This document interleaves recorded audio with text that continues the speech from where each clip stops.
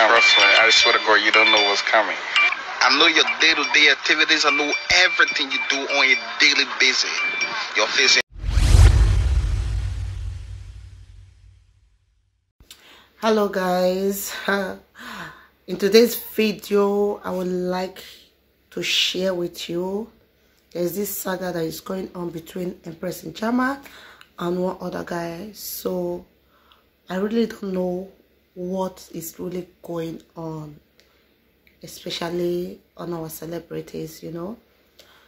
And i don't really want to say anything much. I want you to watch and please subscribe like and comment on this video okay? Because this video is like a lesson and it's a must watch.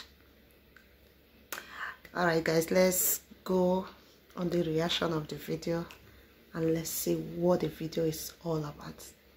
Thank you. And family and fans i'm doing this video to clear the air and also to save a lot of women. I'm a victim. It could happen to anyone. It's not easy telling a story in a society where a lot of people will only criticize you and say all kinds of things. But the most important thing is, I am out here saying this to encourage a lot of women out there to speak up. I'm a victim of blackmail. Oh, thank God I'm alive to tell you the story. It's not been easy coming out to do this.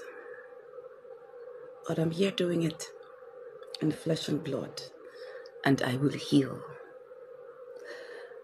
A guy that one couldn't even call a human being came into my life and pretends of wanting to marry me. I didn't know that he had other motives. And he came when I was very vulnerable, when I lost my friend, Ada Ameh. I've been speaking to this guy on the phone for months, speaking to people that I thought were his relatives. Everything was just scam. Came into my life, said he could not leave me because I was not okay. I really wasn't okay. I was hiding it from the press. The death of my friend broke me down so bad I could not function. And he said he was going to stay with me. I didn't know he was busy gathering his tools, his materials, which he was going to use to blackmail me. Afterwards, he had my naked videos. And he changed.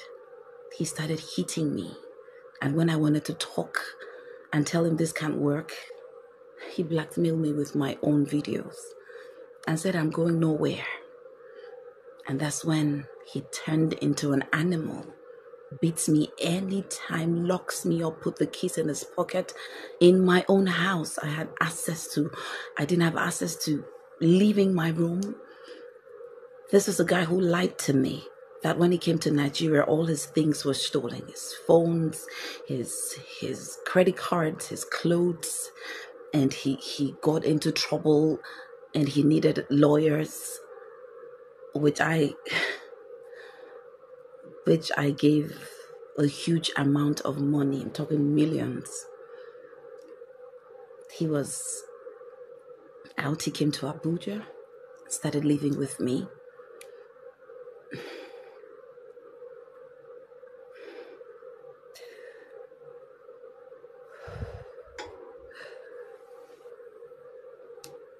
I became a shadow of myself the Empress, you know, became a shadow of herself. If you were around me, you noticed my social life was, was no more.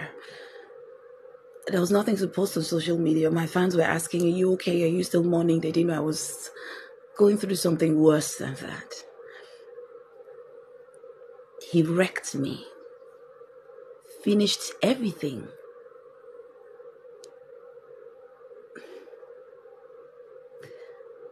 I noticed that he also had loads of videos of other people I saw most of my colleagues. I saw their chat. I saw everything. And I know those people could not speak up because they were scared. On my birthday, you guys know how I don't joke with my birthday. My birthday was the worst birthday ever in my entire life. He beat me up, broke my TV. People who came to greet me noticed I wasn't okay.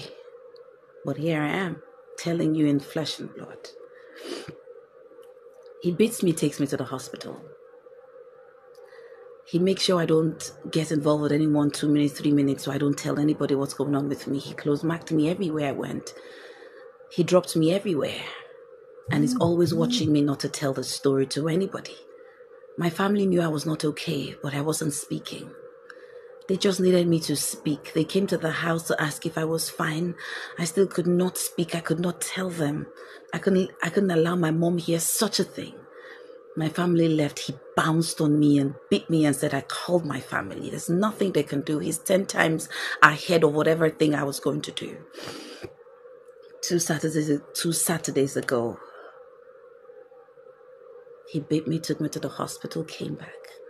And I said no more. It's better in my life to tell the story than being in such a mess and being beaten up every minute. I was able to run away from my house. My house. This person I'm telling you actually got a ring and forced me to do a video, which he posted on my page because he has access to my page. He changed all my password, logged me out of every email I have, everything I have, all my phones, my iCloud, everything. I don't have access to anything. I don't, I don't mind. I'm alive to tell you the story. I was able to run that night. I ran into the streets, not minding who or how I fell into a gutter. I was able to see a malam to ask for phone. I called my brother and he picked me up from the hospital. The following morning, took me home. This guy came back after looking for me, took my car, took my international passport. He took the remaining money I have left. He took my iPad, he took my AirPods. He had two bags of my of my valuables took the car and left. He has the guts to be sending threat videos and saying, whatever I do, whoever I tell is going to put it out there. He's going to put it out there. He has, he's the one posting, chatting people on DM. I was able to get back my SIM cards, but he hacked my WhatsApp. But the IT people were able to get my WhatsApp after he had done the damage he did already. I'm not the one chatting you. If I come back with my page, if ever it happens, I'll let you know that I'm handling my page. For now, I'm not handling that page. Empress Njamah. It's not been handled by me. The rest of the story and the details are told to the appropriate persons. But for now, I needed to clear the air and go to my page and see the video he posted. Does that look like something I will post? I was on the duress posting that video called engagement. The ring that he got was fading my hands, and each time I looked at my hands, it was burning. You could not afford that ring, obviously, but I couldn't talk. I'm going to leave this here for now. I just want to say thank you to those who have been coming to check on me. I'm fine. I will be fine. My family are here with me. It's been amazing with my friends who come to check up on me every day. They sleep with me. I'm still a total wreck, but I'll be better. I'll be okay with time. But I'm happy that I love you guys.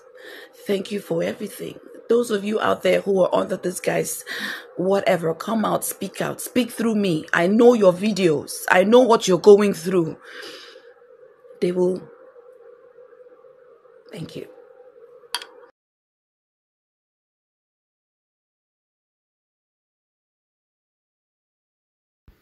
Now, wow, this one strong, oh. This boy get my sha. Ah, swear Maya for you don't marry know what's this woman.